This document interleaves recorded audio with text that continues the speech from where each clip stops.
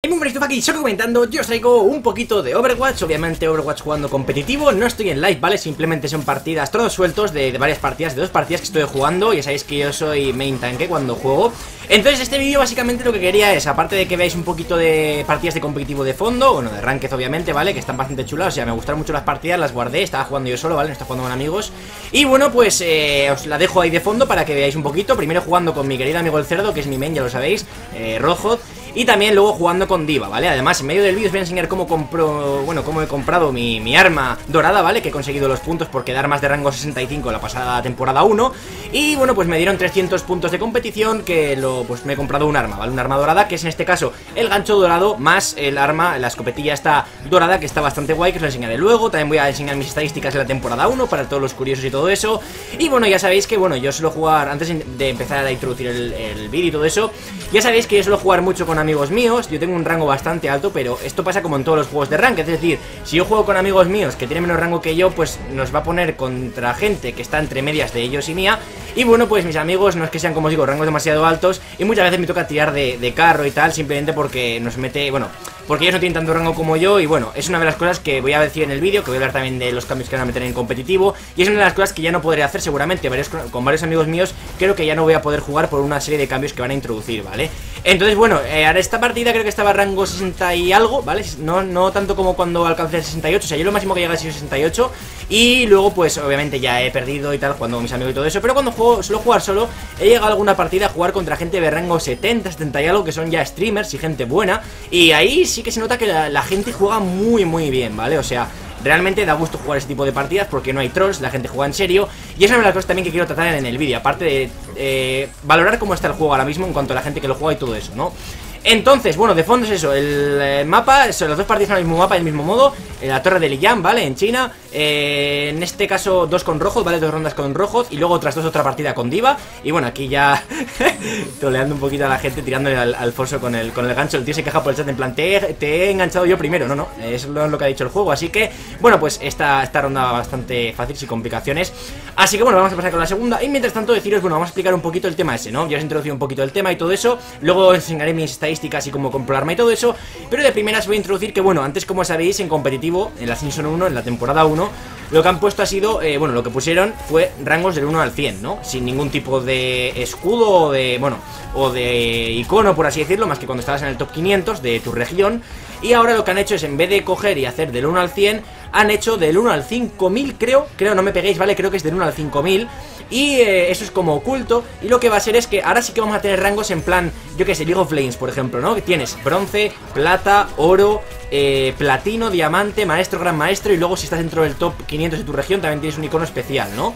Entonces, eh, regiones ya sabéis que son eh, esta, Bueno, Estados Unidos, o, bueno, o mejor dicho América, eh, Oceanía, Asia y Europa, ¿no? Bueno, los continentes y tal, ¿no? Entonces, son las regiones, vamos a ver, creo, eh, creo que son las regiones, si no me equivoco, igual me he dejado algo por ahí Pero vamos, creo que son las que hay actualmente en el juego Y luego también estaría el global, pero el global dentro de los rangos creo que no afecta en demasiado entonces, ahora el competitivo va a funcionar de la siguiente manera O sea, va a ir, igual, simplemente han introducido unos cambios también Aparte en, en, lo que serían las mecánicas del juego Aparte de balance de héroes y tal eh, como os digo, hay diferentes modos que ya lo de la moneda, por ejemplo, se ha eliminado. Eh, Sabéis que cuando jugábamos carga, por ejemplo, y, y bueno, eh, se empataba por lo que sea, porque los dos equipos ponían la carga, pues se jugaba moneda. Entonces era demasiado tontería eh, arriesgar, o sea, tener en cuenta una partida, o sea, lo bien que hayas jugado o lo bien que lo hayas hecho, por una simple moneda que realmente decide quién ataca o quién defiende y depende del mapa, puede ser más beneficioso que una persona, de, o sea, que un equipo defienda o que, o que ataque, ¿no? Entonces, hay muchas partidas que yo he ganado o he perdido simplemente porque me ha tocado algo favorable o desfavorable en la moneda, cosa que no era justa y eso lo han cambiado, ¿vale?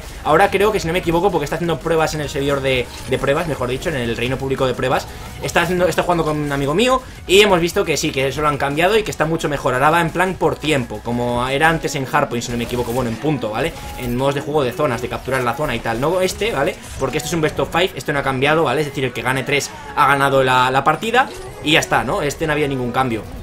Pero bueno, en general, como os decía, Ahora también, esto es lo que yo os decía de mis amigos, van a poner una limitación especial y es que eh, ahora no vas a poder no vas a poder jugar con alguien que tiene menos, o sea, tiene 500 puntos menos que tú. Como os he explicado, esto va del 1 al 5000, si no me equivoco. Entonces, si tú quieres jugar con una persona, más allá de que esté en tu rango o no, hay una diferencia más grande de 500 puntos de habilidad, no vas a poder jugar con esa persona. Es decir, vas a jugar, poder, poder jugar públicas, pero competitivo no puedes. Con lo cual, no puedo jugar con ninguno de mis amigos, creo que más que con uno, con mi compañero Manu, que tiene un poco menos de rango que yo.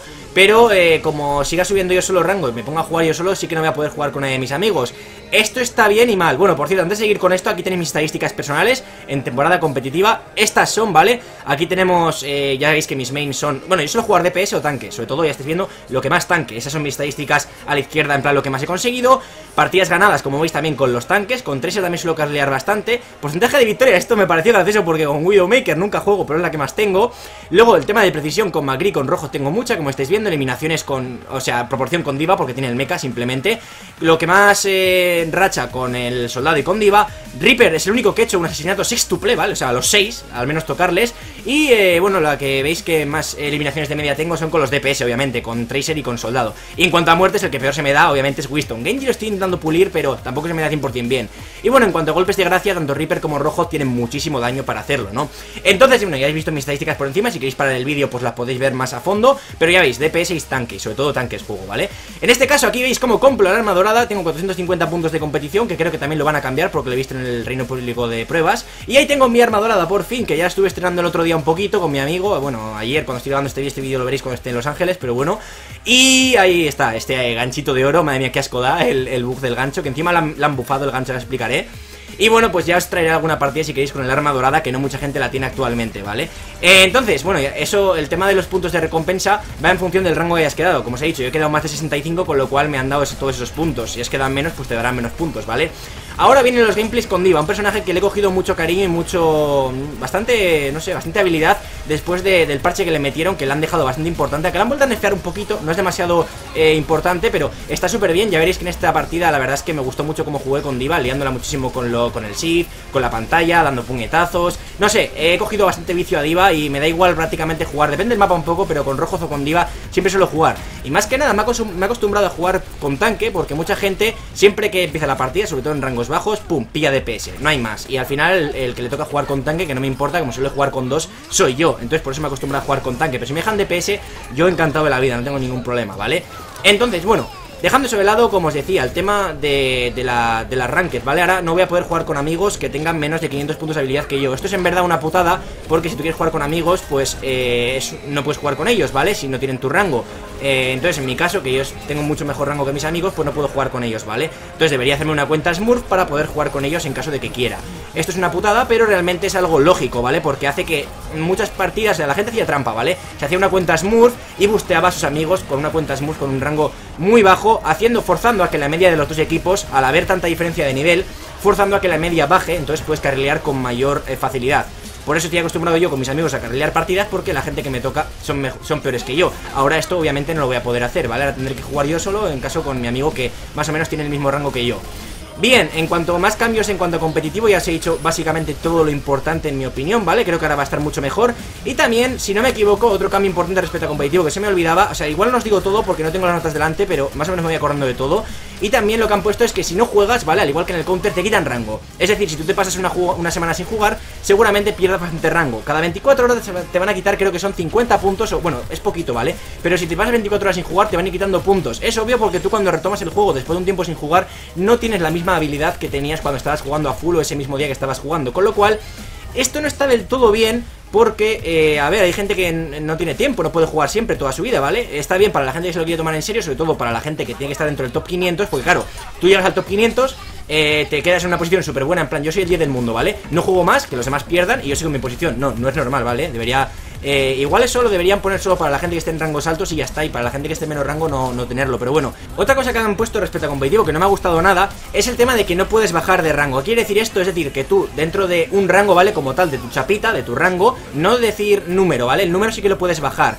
Pero llega un límite que es tu rango. Por ejemplo, si entro a oro, que yo ahora mismo, si tenéis curiosidad, ¿vale? Según mi nivel, por cómo he quedado, creo que soy diamante, ¿vale? Un rango bastante majo, sinceramente, creo que soy diamante. Imaginaos que yo llego a, maestro, ¿vale? En teoría no puedo bajar de maestro, ¿vale? Es decir, si ahora por muchas partidas que pierda, que estoy en diamante, por ejemplo no puedo bajar de diamante, ¿vale? Esto está bien porque ayuda a la gente a no desmoralizarse, pero está mal porque es como que no hay castigo para la gente que pierde partidas, en plan muchas partidas, ¿vale? Es decir, tú al final te vas a estancar mucho, por ejemplo, mucha gente se va a estancar en plata, ¿vale? Porque hay mucha gente que será bronce, es el rango que más... Eh, rango de números hay de, habilidad Entonces mucha gente que es mala, que es de bronce, cuando llega a plata por alguna cosa por otra, le va a costar, o sea, ya no va a volver a bajar a bronce. Entonces, no sé cómo va a funcionar esto porque la gente de plata que esté a punto de... o que tenga muchos puntos y va a subir al siguiente rango que es oro, le va a juntar con gente que realmente debería estar en bronce, no sé si me entendéis, y que no bajan porque por mucho que pierdan está así hecho el juego, no me parece del todo bien. Es como que en un juego competitivo tiene que haber recompensa y castigo. Si tú pierdes, debería haber un castigo. Y por mucho que cuanto más pierdas, más castigo habrá. Y si ganas, pues tienes que ganar y te ganarás rango y subirás de nivel. Y al final lo que hace el competitivo es que te piques. O sea, pierdes una, te picas, pierdes otra, te picas más, pierdes otra. Y dices, voy a dejar de jugar ya porque vale por hoy. Y eso eh, va a ser una cosa que va a motivar a que la gente juegue a saco, obviamente. Esto es bueno para Blizzard porque va a haber más gente jugando. Pero para los jugadores que se lo quieren tomar más en serio, no lo van a ver de manera muy positiva, ¿no? Así que creo que esto es 100% todo respecto a lo, cómo va a quedar el competitivo de cara a la temporada 2. Como digo, lo podéis probar en el reino público de pruebas. Creo que este vídeo, a lo mejor cuando lo suba o cuando esté a punto de llegar a casa, van a activar ya la temporada 2, con lo cual este vídeo va a venir muy bien para la preparación, para la explicación de la temporada 2, para los que queráis meteros a jugar y todo eso. Esto creo que lo van a aplicar tanto en PC como en consolas, yo juego en PC, ¿vale? Por si no lo sabíais. Eh, es obvio, ¿vale? Por cómo muevo la cámara y todo eso Y bueno, ojo, cuidado, que antes de nada viene ahora una jugadita muy jugosa con Diva Que, madre mía, la que lío aquí Tiro el mecha para arriba y surprise ¡Boom! Ahí está, chavales, Quad la verdad es que, bueno, dejo ahí, en plan, y hago así con el, con el mecha, dejo el salt y hago así con el mecha. La verdad, pepino de, clip, un quad con diva no es del todo fácil y tirarlo ahí estaban un poco empanosos. Es que lo dejo en medio de la puerta y en verdad pillo mucho rango, lo tiro muy bien, ¿vale? Tengo también otro, un par más guardados con diva en plan así. Tengo un montonazo de clips de Overwatch que ya los guardaré para hacer algún montajillo o algo, no os preocupéis. Pero no sé, me apetecía polrarlo ya con el gameplay, que además es muy buen gameplay. Luego tendréis en jugada destacado, obviamente. Y bueno, como os comentaba, respecto a qué opino de los buffs y de los nerfs y todo eso, bueno, han nerfeado a Genji, como sabéis, no me voy a poner en plan a explicarlo 100%, pero han nerfeado a Genji unas, unas tres cositas, el tema de los saltos, el tema del shift y el tema también de, ¿qué era más? Ah, sí, la, la animación de la cuchillada con el shift también han nerfeado, ya no se puede hacer. Han nerfeado a Diva un poquito, el cooldown que tiene el escudo creo, pero tampoco... Le ha jugado en el nuevo parche y tampoco se nota demasiado. Han nerfeado el orbe de la discordia de Zenyatta, ya no quita tanto, antes quitaba un 50% el daño, ahora no quita, ahora quita un 30%, pero sus bolas hacen más daño, es decir, él hace más daño, pero su orbe hace que los demás no hagan tanto daño en el objetivo, ¿vale? Y luego también, pues yo que sé, eh, Tracer creo que le dio algo, pero no sé si al final era cierto. Eh, también Macri una cosita que le han nerfeado. No sé, creo que realmente nada de lo demás importante. Eh, Mi main, en rojo, también han hecho que el gancho sea un poquito más cheto ahora. Es decir, ahora te los deja siempre 100% delante tuyo cuando los enganchas Cosa que me ayuda a mí todavía más Que yo creo que no hacía falta, pero bueno. Así que bueno, hasta aquí la partida, chavales. No me voy a enrollar mucho con el tema del parche Porque ya lo habréis visto en otros, en otros sitios El tema de ¿cómo se llama? De los buffs y todo eso Pero bueno, aquí tenéis la jugada destacada También os voy a dejar obviamente el marcador final para que veáis cómo quedan las estadísticas Pero bueno, la partida fue una paliza, fue un 3 a 0 Maté muchísimo, hice muchísimo daño Y bueno, pues la verdad es que... Hace mucho tiempo que no juego, pero tengo muchas ganas de que saquen bien ya el competitivo para darle cañita y a ver si mis amigos suben un poquito para poder jugar con ellos. Así que nada más, os voy a dar vuestro me gusta, favoritos y suscribiros más. Adiós.